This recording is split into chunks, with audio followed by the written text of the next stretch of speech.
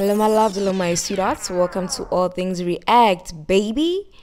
Definitely subscribe, okay, honey? We're going to talk about Skeem Saam actors and their real life partners. So, if you didn't know, Quiz is married to a one tall, dark, and handsome fella definitely different from her on-screen husband who's Eva Lehasa.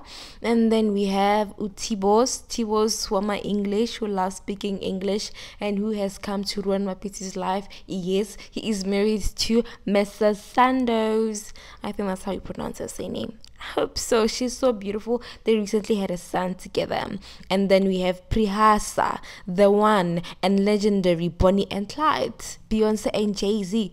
This two on screen romance is quite believable. And these two, they post each other so much on social media. You'd think that they're actually a real life couple if you didn't know that they were on screen uh, a couple. And they don't post their real partners, and that's why they're included as just as they are.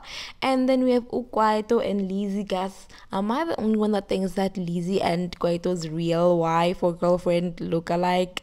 I think there's something something going on there. And then we have Leeto, whose girlfriend also looks like him. Like the whole entire family looks like siblings. But anyways, it's still such a beautiful family. And then we have Kat, who's so much unfortunate in love there on Scream Skeem Saam. I don't know why they don't give Kat a chance.